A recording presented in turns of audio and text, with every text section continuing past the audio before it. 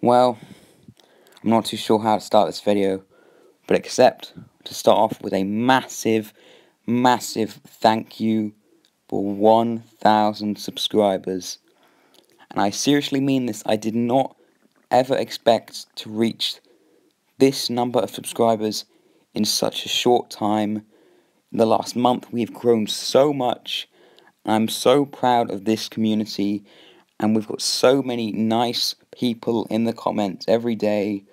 Lots of encouraging, kind words, and literally, like, making these videos is just one of the best things I've ever done. And I'm so grateful to have people who are there to watch my videos every day and comment and like and just be there for me. Um, and I have I have no words honestly. I can't express how happy I am. I seriously can't. But uh, I just wanted to share some of the comments that I've received recently. You can just see how nice everyone is. You know, shout out to everyone who's been here from the beginning to the end, who's here now. You know, it's it is just so so crazy, and I mean, yeah, I'm I'm so so happy. I have no words. I'm losing my voice. I don't know what to say except thank you so much, guys.